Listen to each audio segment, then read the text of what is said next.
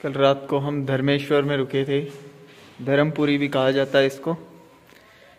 ये धर्मेश्वर मंदिर का हॉल, संत निवास।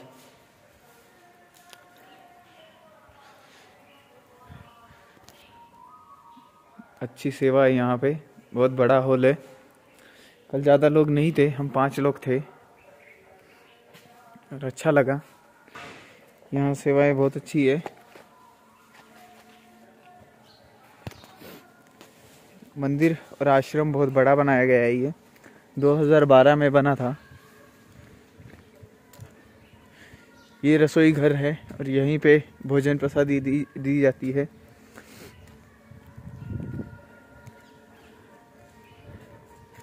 दो हज़ार बारह बनने की वजह से यहाँ पेड़ भी बड़े हो गए, वो लगाए गए हैं।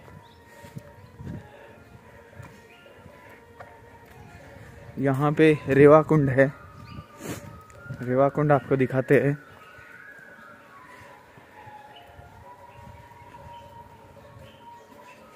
उदासीन महाराज, संत काशी मुनि।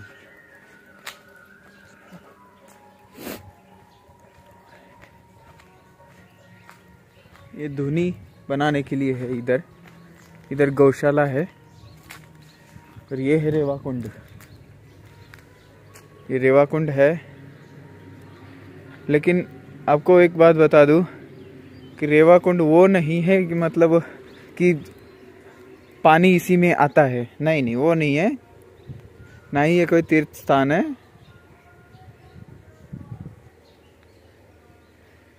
रेवा कुंड वो है जो यहाँ पे पानी भरा जाता है। जैसे जयंती है, इसमें पानी भरा जाएगा। मैया का, मेन धारा का पानी लाके यहाँ पे भरा जाएगा। वो रेवा कुंड है। अच्छा है कॉन्सेप्ट अच्छा है। तो मैया के दर्शन भी हो जाएँगे और स्नान भी मैया का हो जाएगा।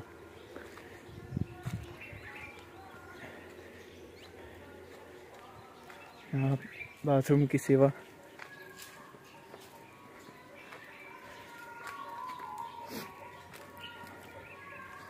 धर्मेश्वर मंदिर में है हम अभी।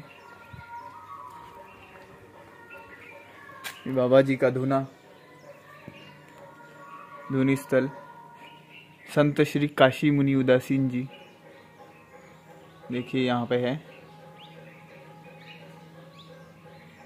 उनकी तपस्थली। और मंदिर का परिसर देखिए।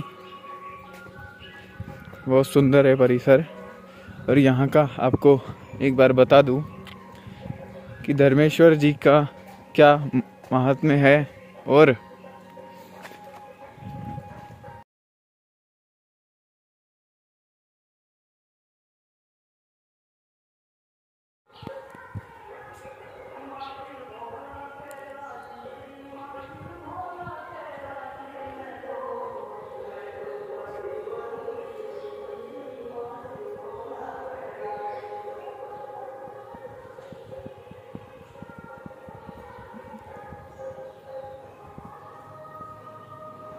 पे महादेव जी की लीलाएँ की तस्वीरें हैं।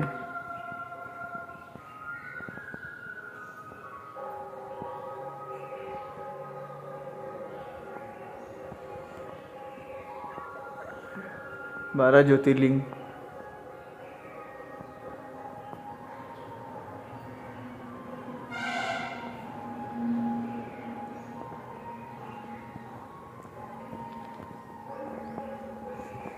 सुंदर बनाया गया है, धर्मेश्वर मंदिर। जन्म कोटि लगे, रगर हमारी करऊ शंभु न तरहु कुंवारी। वाह। कार्तिकेय स्वामी। त्रिपुरदाह। शिव गौरी। बहुत सुंदर सुंदर पेंटिंग बनाई गई है। धर्मेश्वर में, धर्मेश्वर मंदिर में। अब धर्मेश्वर जी के दर्शन करते हैं।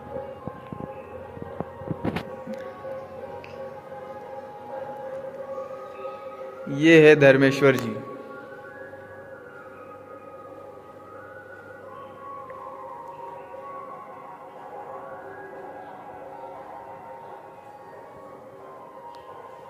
देखिए पाँच पांडव यहाँ पे। पाँच पांडव क्यों लगाए गए, ये भी आपको बता देता हूँ मैं। क्योंकि धर्मराज युधिष्ठिर जी, इन्होंने ये स्थापित किया है, यहाँ धर्म का काम, पुण्य और दान धर्म यहाँ पे होता था। जब वो अज्ञातावास में थे, तब। इसीलिए इस गाँव का नाम धर्मपुरी, इस राज्य का नाम धर्मपुरी था, पहले।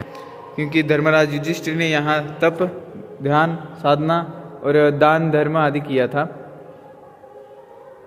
और ये उन्हीं की तपस्थली है और धर्मराज युधिष्ठिर के नाम से ही धर्मेश्वर महादेव यहाँ पे स्थापित है।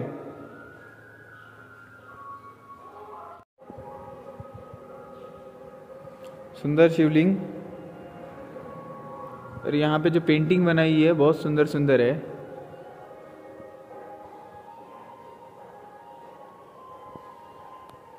ये देखिए यहाँ पे पाँच पांडवों की पेंटिंग धर्मराज युधिष्ठिर, वीर अर्जुन, सहदेव नकुल और भीम जी।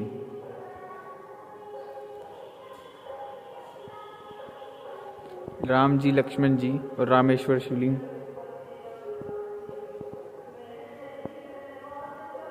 आप दर्शन कर रहे हैं धर्मेश्वर, जिला देवास एमपी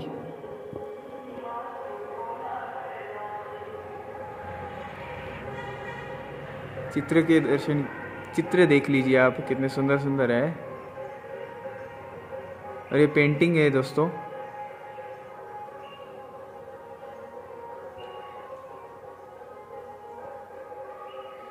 नर्मदा मैया का चित्र। और इस साय समुद्र देव है। यहाँ पे बाल मार्कंडे शायद है।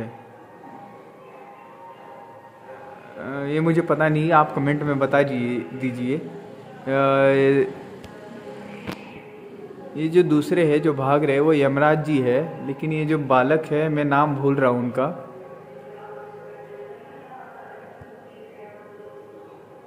अर्धनारेश्वर यहाँ पे बारह ज्योतिर्लिंग है। आप दर्शन कर रहे हैं धर्मेश्वर धर्मेश्वर जी मंदिर के, जो धर्मपुरी में है। आज का ये पोखर गाँव है। पहले धर्मपुरी था, नया बना है अभी। वाह, गणेश जी की मूर्ति।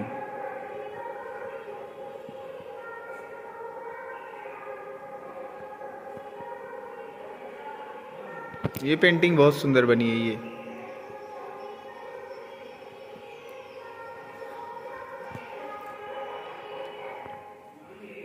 मंदिर परिसर बहुत बड़ा है।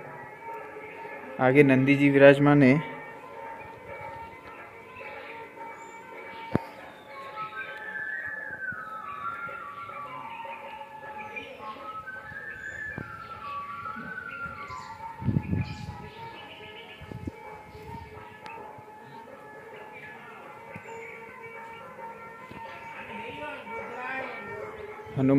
संकट में दोनों साइड हनुमान जी है।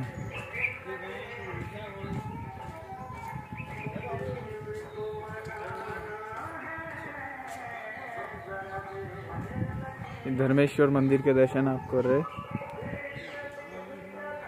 जिला देवास एमपी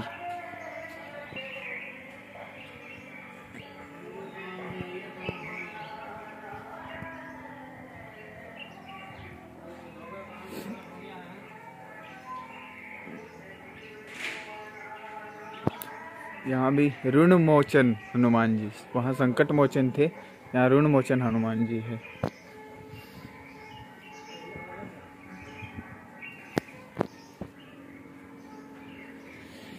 ये महाराज यहाँ पे सेवा देते हैं।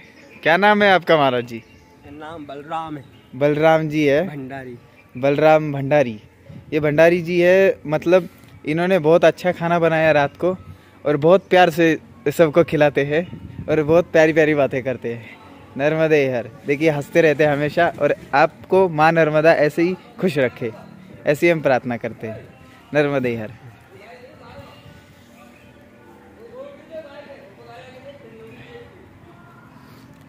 चलिए अब चलते हैं आगे की तरफ़। अब हम चलते हैं फतेहगढ़ की तरफ़। सुंदर मंदिर है। और सुंदर परिसर। फतेहगढ़ की तरफ़ चलते हैं अब। नर्मदे हर। यहाँ पे कुछ स्लोगन्स है, कुछ दोहे लिखे हुए, ये देखिए। ये बहुत सुंदर दोहे, और यहाँ पे एक है। तरुवर फल नहीं खाते, नदी न संचे नीर। परमात के कारण साधु धरा शरीर। साधु ने धरा शरीर। मतलब समझ में आया? तो कमेंट में ज़रूर लिखिए। तीन सवारे जगत को सती संत और शूर, तीन बिगाड़े जगत को कामी, क्रोधी और कूर। माँ बागेश्वरी रेस्टोरेंट। यहाँ पे बाबा जी सेवा दे रहे हैं। नर्मदे है। रेस्टोरेंट के मालिक यहाँ पे सेवा दे रहे नर्मदे हर पोहे और जलेबी परिक्रमा वासियों के लिए। क्या नाम है आपका? काना काना वाह अच्छा नाम है। नर्मदे हर हाँ, ये धर्मेश्वर से थोड़ा सा आगे है एक किलोमीटर आगे। माँ बागेश्वरी रेस्टोरेंट। आप आइए तो यहाँ ज़रूर आइए। आइए परिक्रमा मार्ग में ज़रूर। हाँ जी ज़रूर। नर्मदे हर आपले नर्मदे यार दोस्तों, हम ग्राम बाई में आए हैं सिंगाजी मंदिर। संत सिंगाजी मंदिर सॉरी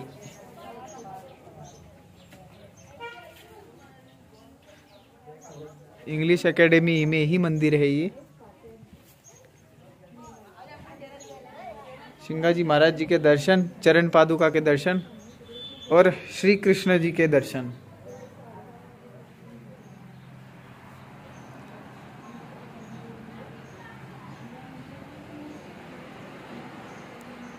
सिंगाजी महाराज है। और उनकी चरण पादुकाएँ।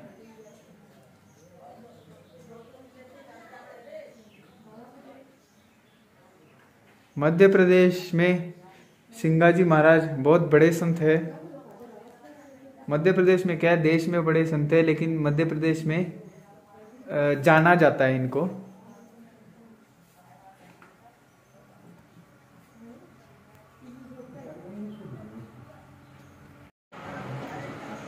आरती सिंगा जी महाराज जी की यहाँ पे लिखी हुई देखिए। देख लीजिए, लिख लीजिए। इधर से। और यहाँ पे बधाओ दल्लू जी महाराज का आरती।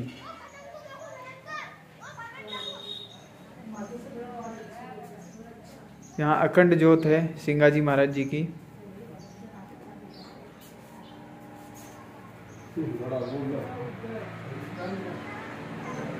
चरण पादुकाएँ महाराज जी की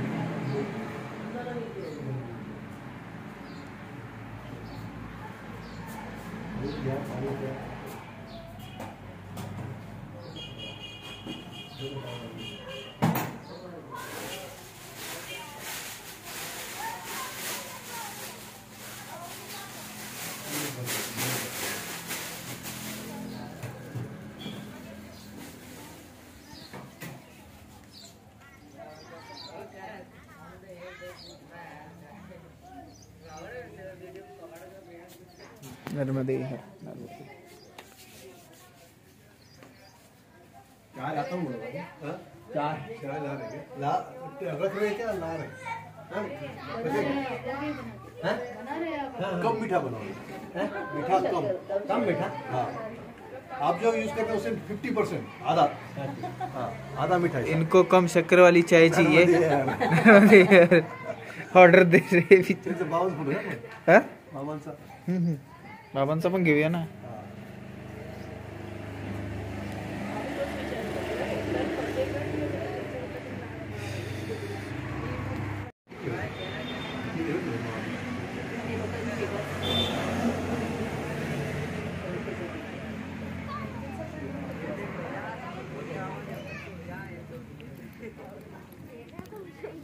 क्या करते हैं बच्चे इधर? पढ़ते हो? इस एकेडमी के बच्चे। क्या क्या नाम है? सबका नाम बताओ चलो। करण मोहरी। आयुष मगा। और बाकी? और आप? हम्म, ठीक है। कौन सा YouTube channel Ram Ram India. Ram Ram India. ठीक है देख लेना। और सब्सक्राइब भी कर देना। लाइक भी कर देना। कमेंट भी कर देना।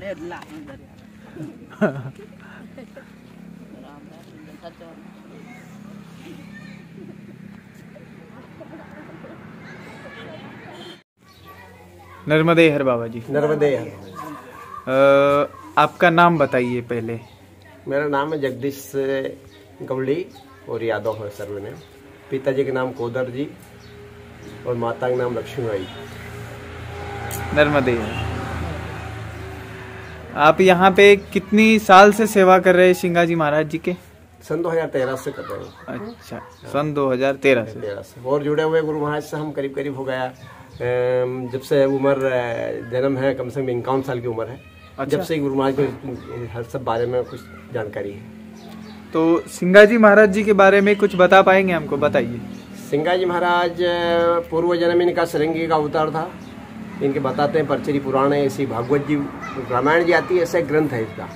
तो उसमें लेख लिखा कि इनका पूर्व जन्म जो था वो श्रृंगी जी का अवतार था।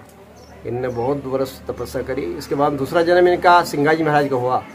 तो ये सिंगाजी महाराज एमपी में बड़वानी ज़िले में खजूरी करके गाँव है नर्मदा जी के तट खलघाट करके धर्मपुरी करके गाँव है। उसके पास में 10 किलोमीटर पे एक खजूरी करके गाँव है वहाँ जन्म हुआ था। इनके पिताजी के नाम भीमा जी था, इनकी माता जी का नाम गौरबाई था, इनके भाई के नाम लीमा जी था और इनकी बहन का नाम कृष्णबाई था। इनकी पत्नी जो थी, धर्म पत्नी, उनका नाम यशोदाबाई था। इनके चार लड़के थे, सद्दू, दीपू, कालू, भोलू, ऐसे चार लड़के थे। इनके नाते के नाम दलू बाबा था। ये सिंगाजी महाराज वहाँ एक धोबी रहता था। कहाँ पे? इनकी जन्मभूमि गाँव में। तो उनसे भी इनने भेदभाव नहीं करने पाया। मतलब वो बहुत बड़ा दुष्ट था। ये जब गर्भ में थे, जब धोबी बोलता था, धोबी की माँ बोलती थी कि ये जो इनके पास 400-500 गाय, भैंस धन थे। गौ माताएँ थी 500 तो ये इनके चराने जाते थे तो इनके धोबी के जो घाट जहाँ कपड़ा धोता था, वहाँ ये बैठाते थे, इनके पानी सब गंदा हो जाता था। तो इनके कपड़े धोने में दिक्कत आती थी। इसलिए धोबी इन पर जलपन करता था। तो धोबी ने क्या करा था? सिंगाई महाराज जब पेट गर्भ में था जब इनको मारने की कोशिश करी थी। अच्छा। तो इनकी माँ बोली धोबी की कि मैं इनको तो गर्भ में इसका जब जन्म होगा जब नाड़ा खड़ना जाऊँगी जब ही मार डालूँगी। तो सिंगाजी महाराज ने क्या सोचा? ऐसी जगह पे जन्म लिया कि इनका हाथ नहीं लगने दिया मतलब। जहाँ कंडे छाप रहे थे गऊ की छपरून थी। मैं सुबह साढ़े सात बजे सन 2016 में बुधवार के रोज सुबह साढ़े सात बजे जन्म हुआ। 2016 हाँ, अ, मतलब सम्मत सोलह सौ सोलह में। अच्छा 1616 सोलह। सोलह सौ सोलह में मतलब। 1616 और तिथि थी नौमी और दिन बुधवार था उस दिन का जन्म हुआ। और इनने जब ये मान लो चालीस साल की उम्र में चालीस साल की उम्र में इनको मान लो इतना सारा ज्ञान हो गया कि इनने बहुत सारी लीलाएँ कर गए मतलब। और चालीस साल की उम्र में इनने जीवित समाधि ली।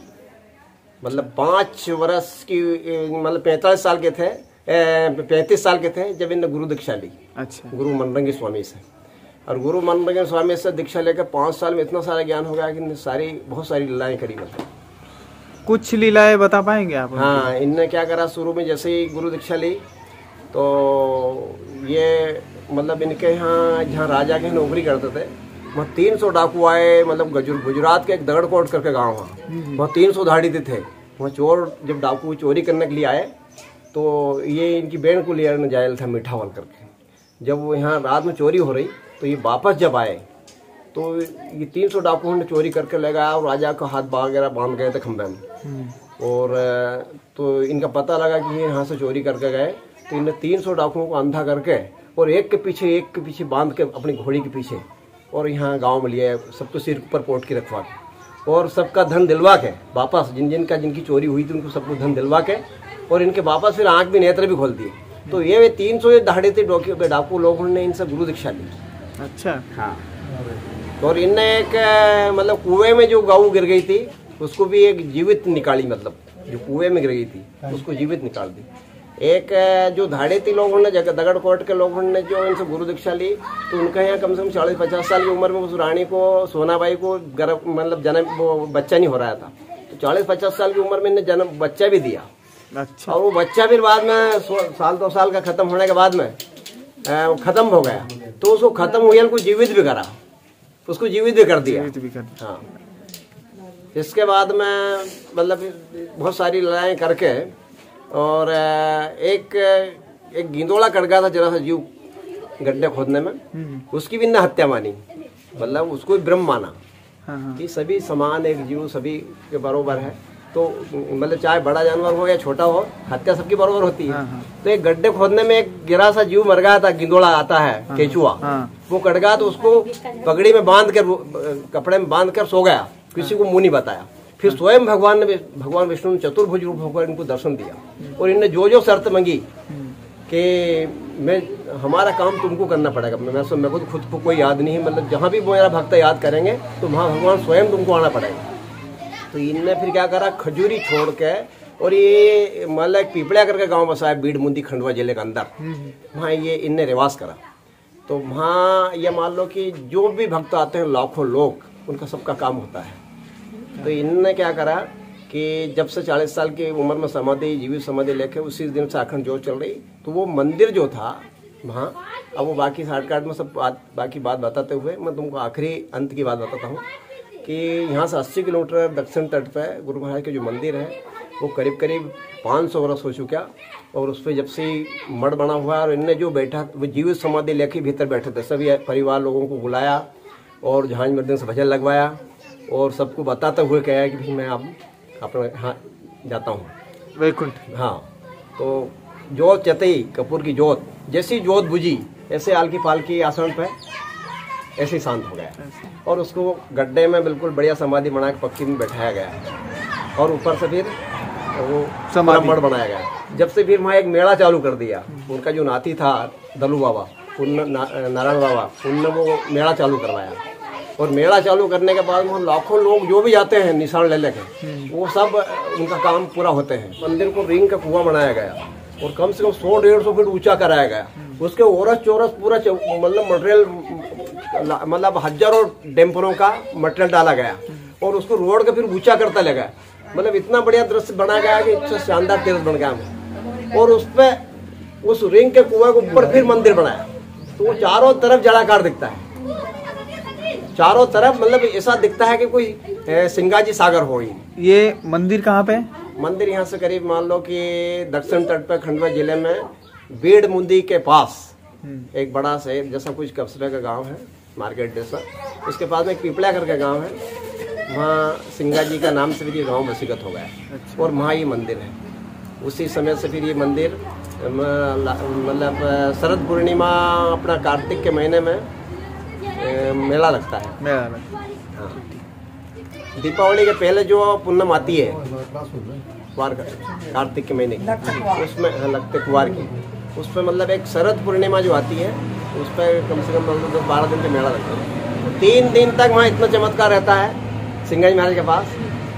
गुरुदेव जी तीन दिन तक वहाँ इतना चमत्कार रहता है सिंगाजी महाराज के पास जो शरद पूर्णिमा का जब मेला लगता है तो तेरह मतलब तेरह चौदह सौ पूनम तीन दिन तक चीटी और मक्खा और कौवे कुत्ते ये जीव जंतु वहाँ मतलब कम से कम एक किलोमीटर और चौरस जगह में जाते हैं। एक किलोमीटर जगह में तुमको नहीं मिलेंगे। नहीं जाते। वहाँ- शरद भगवान ये गुरु महाराज ने ये शर्त करी थी भगवान से कि तुमको तीन दिन स्वयं का रहना पड़ेगा ब्रह्मा विष्णु महेश। हमेशा जब तक भी अटल ये चलता रहेगा। तो वहाँ ये एक चमत्कार देखने मिला पब्लिक ऐसी बात नहीं मानती। तो माँ इतनी मिठाई चढ़ती है मिठाई घी कुंटल से घी चढ़ता है वहाँ अखंड जो चलती है नहीं। तो कम से कम मान लो कि पाँच दस दस बीस कुंटल घी चढ़ जाता। है और कम से कम एक दो ट्राली नरियल चढ़ जाते हैं, नरियल। एक दो ट्रैक्टर की ट्राली भरते हैं, इतना नरियल चढ़ जाता है। और निशान भी सिंगाई महाराज जी ध्वजा लेके जाते हैं वो कम से कम हज़ारों ध्वजा लेके निशान लेके जाते हैं। इनने एक चमत्कार, झाबुआ देश में एक राजा था, उसके जहाज़ में बहुत सारे यात्री बैठे थे, उस समय थे। तो यात्री जहाज़ डूब रही थी सागर के अंदर। तो उनने सागर में याद करा वो जहाज़ डूबती हुई वो। उस समय की बात जो 400-500 जब गुरु महाराज थे तो वे उनने कोई नाम सुना था कोई संत है इधर निमाड़ क्षेत्र में एमपी में है तो वो वो डूबती हुई जहाज़ भी उभरी मतलब वो जहाज़ को भी ऊपर लेकर आया। ऐसा अनेक चमत्कार गुरु महाराज ने करा। ठीक। जय सदगुरु सिंगा जी महाराज की। जय। आपने हमारा ये सारी चर्चा सिंगा जी महाराज की सुनी। इसके लिए आपको बहुत बहुत आभारी बहुत बहुत धन्यवाद। हमारे गुरु महाराज संत सिंगा जी महाराज का प्रचार हर जगह, हर देश में हो, ये हमारी शुभकामना धर्मेश्वर से फतेहगढ़ की तरफ़ जाते हुए हरे भरे खेत रास्ते में हम बाई होके धर्मेश्वर से बाई होके फतेहगढ़ की तरफ़ जा रहे हैं। फिर नेमावर। नर्मदे हर। हम अब फतेहगढ़ पहुँचने वाले हैं। माँ नर्मदा की जयंती, वहीं पे मनाएँगे। कौन से घाट पे मनानी है वो सोचेंगे। अभी जाके। कुछ इलाकों में सात तारीख को है, कुछ इलाकों में आठ तारीख को है। अब नेमावर में आठ तारीख को है। महेश्वर, मंडलेश्वर, उस तरफ़ ओमकारेश्वर सात तारीख को है। आज की भोजन प्रसादी दोपहर की। फतेहगढ़ में। यह आश्रम है। सुंदर सा। वहाँ पे बाबा जी के हाथों से अभी गरम गरम बनाए उन्होंने।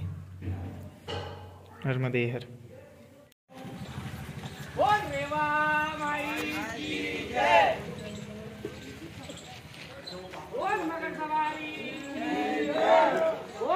दोस्तों, ये पास के गाँव से ग्रामीण है।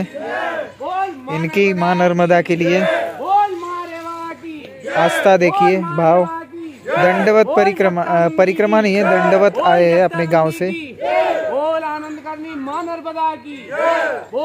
दंड मारते हुए, माँ नर्मदा तक, अपने गाँव से। माई की। माई की। बोल रेवा भवानी की। बोल रेवा भवानी की। आई रे आई। आई। रे आई। आई। रे आई रे आई। आई। रे आई। नेड़ी आई। नर्मदे। नेड़ी आई। बोल माँ नर्मदा की जय।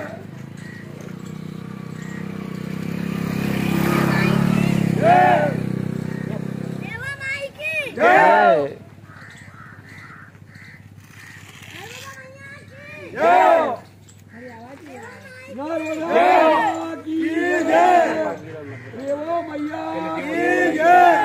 नर्मदा मैया के नर्मदा मैया के नर्मदा नाम मोहन जाट है हाँ जी।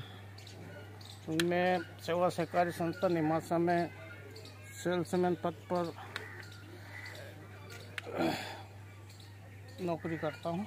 मेरे पास दो दुकान है जो राशन बांटने वाली। हाँ जी। और मैं मध्य प्रदेश सहकारी कर्मचारी महासंघ का जिला उपाध्यक्ष भी हूँ। ओहो। और संयुक्त सहकारी विक्रेता संघ जिला देवास का अध्यक्ष हूँ। हम्म, माँ से आस्था है मैंने कोई कबूल ना से नहीं आया राज़ी खुशी आया हूँ। अच्छा खुशी खुशी। हाँ मैया की कृपा है आ गए। आ तो नहीं सकता मैं इस लायक तो नहीं हूँ। हम्म, फिर भी मैया कृपा खींच लाई मैया ने। बुलाया मैया ने? मैया ने बुलाया।